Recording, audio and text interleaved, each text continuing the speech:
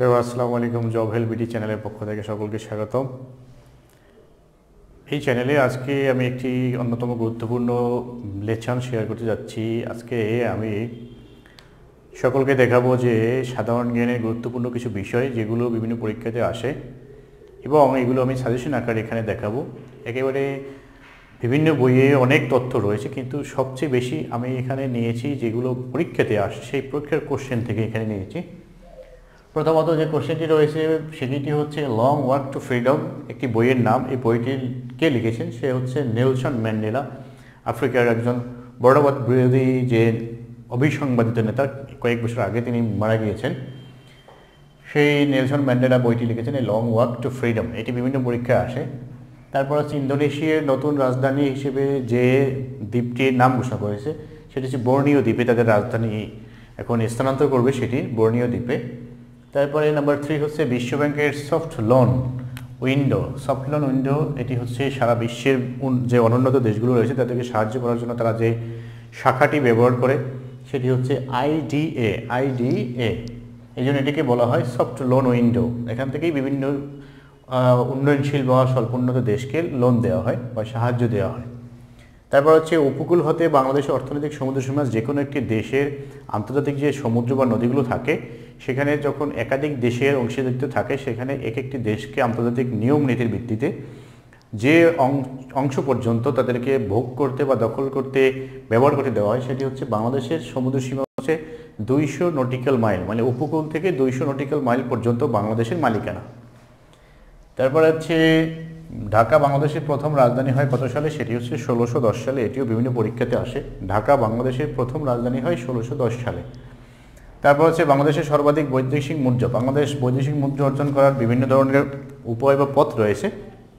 তার মধ্যে যেটি বেশি গুরুত্বপূর্ণ প্রথম সারির প্রথম এক নম্বরই, সেটি হচ্ছে তৈরি পোশাক রপ্তানি করে বাংলাদেশ সবচেয়ে বেশি সর্বোচ্চ পরিমাণে বৈদেশিক মুদ্রা অর্জন করে। তারপরে সপ্তম নম্বরটি হচ্ছে, সপ্তম নম্বরে সপ্তম পঞ্চবার্ষিক।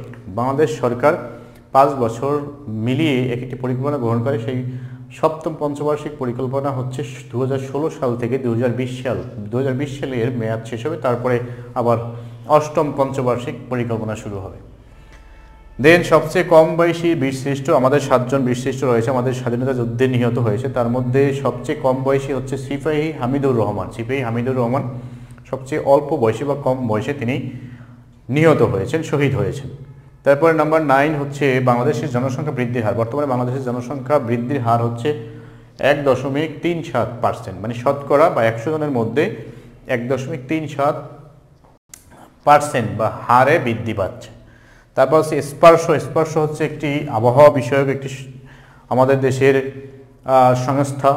তো সেই স্পর্শ হচ্ছে যে মন্ত্রণালয়ের অধীন, সেটি হচ্ছে প্রতিরক্ষা মন্ত্রণালয়। স্পর্শ যে মন্ত্রণালয়ের অধীন, সেটি হচ্ছে প্রতিরক্ষা মন্ত্রণালয়। স্পর্শ, বাংলাদেশ প্রতিরক্ষা মন্ত্রণালয়ের অধীনে একটি আমাদের দেশের একটি প্রতিষ্ঠান বা সংঘ বা শাখা বাংলাদেশ সরকার কর্তৃক পরিচালিত সরকারের একটি প্রতিষ্ঠান। তো এই প্রতিষ্ঠানটি প্রতিরক্ষা মন্ত্রণালয়ের এক একটি মন্ত্রণালয়ের অধীনে বিভিন্ন ধরনের প্রতিষ্ঠান নিয়ন্ত্রণে থাকে। স্পর্শ হচ্ছে প্রতিরক্ষা মন্ত্রণালয়ের অধীনে বা নিয়ন্ত্রণে। তো এই দশটি দেখালাম। এরপরে আরও কয়েকটি গুরুত্বপূর্ণ সাধারণ জ্ঞানের প্রশ্ন রয়েছে, সেগুলোও দেখাবো। যেগুলো বিভিন্ন পরীক্ষাতে আসে বিভিন্ন সময়। এরপরে আমি আর কয়েকটি এখানে সাধারণ জ্ঞানের প্রশ্ন শেয়ার করছি, সেটি হচ্ছে, প্রথমত এগারো নম্বর হচ্ছে ব্রিটিশ রাজ পরিবারের বাসভবন, যে ব্রিটিশ রাজ পরিবার বিশেষ একটি বাসভবনে থাকেন, সে তার নাম হচ্ছে বাকিংহাম প্যালেস। বাকিংহাম প্যালেস হলো তাদের বাসভবনটির নাম। তো ব্রিটিশ প্রধানমন্ত্রীর একটি রয়েছে, তারপরে ব্রিটিশ প্রধানমন্ত্রীর কার্যালয়ের একটি নাম রয়েছে, ঠিক এই রাজপরিবারের বাসভবনের নাম হচ্ছে বাকিংহাম প্যালেস। তারপরে অ্যামনেস্টি ইন্টারন্যাশনাল একটি আন্তর্জাতিক সংগঠন।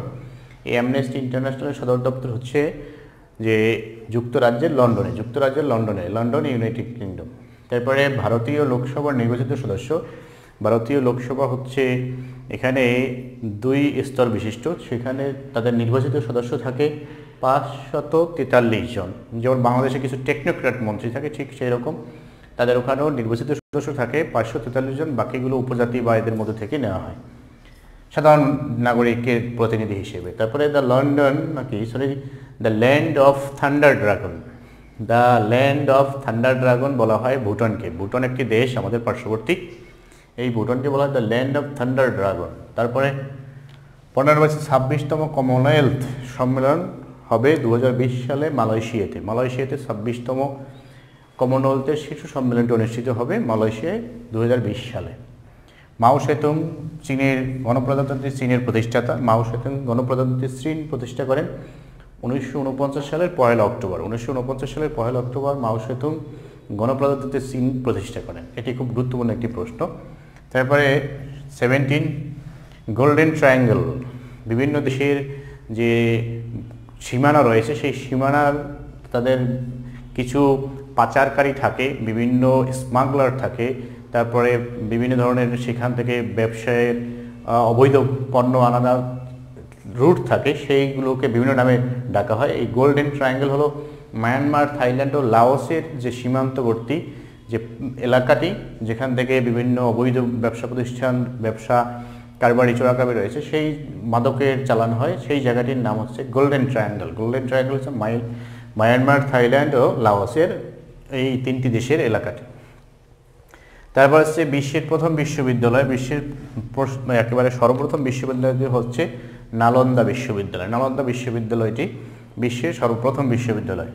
তারপরে বাংলাদেশের সংবিধান, আমাদের যে দেশ পরিচালনার মূল ভিত্তি, সেই সংবিধানের অঙ্গসজ্জা, যে আমরা সাধারণত জানি, এই উপরে যে সাজানো গোছানোটা, সেটি করেছেন জয়নুল আবেদিন। আমাদের শিল্পাচার্য বলা হয় তাকে, শিল্পাচার্য জয়নুল আবেদিন। এই আমাদের বাংলাদেশ সংবিধানের যে অঙ্গসজ্জা সেটি করেছেন। তারপরে হচ্ছে বিশ নম্বর কোশ্চেনটি খুব গুরুত্বপূর্ণ, বাংলাদেশের প্রথম সাধারণ নির্বাচন কত সালে হয়? আমাদের স্বাধীনতার পরে বাংলাদেশের সর্বপ্রথম যে সাধারণ নির্বাচন বা সংসদ নির্বাচন সেটি হয়েছে উনিশশো তেতাল্লিশ সালের সাতই মার্চ। উনিশশো তেতাল্লিশ সালের সাতই মার্চ আমাদের বাংলাদেশে যে সাধারণ নির্বাচন সেটি সংগঠিত হয় এবং এই নির্বাচনে বঙ্গবন্ধু নিরঙ্কুশভাবে সংখ্যাগরিষ্ঠতা লাভ করে তিনি বিপুলভাবে জনগণের রায়ে নির্বাচিত হন। তো এই সাতই মার্চে উনিশশো তিয়াত্তর সালের, উনিশশো তিয়াত্তর সালের নাইনটিন সেভেন্টি থ্রি এই সাতই মার্চ বা সেভেন্থ মার্চ, এই সাধারণ নির্বাচনে বাংলাদেশে যে জাতির পিতা বঙ্গবন্ধু শেখ মুজিবুর রহমান বিজয়ী হন এবং সেটি হলো বাংলাদেশ নির্বাচন বা বাংলাদেশের স্বাধীনতার পরে প্রথম সাধারণ নির্বাচন। তো এই যে বৃষ্টি, আমি এখানে প্রশ্ন, সাধারণ জ্ঞানের আজকে দেখালাম, এগুলো খুব বেশি ইম্পর্টেন্ট চাকরির পরীক্ষার জন্য এবং এগুলো অনেক বেশি উপকারী হবে বেনিফিশিয়াল হবে for the students who are going to sit for job examination and আমি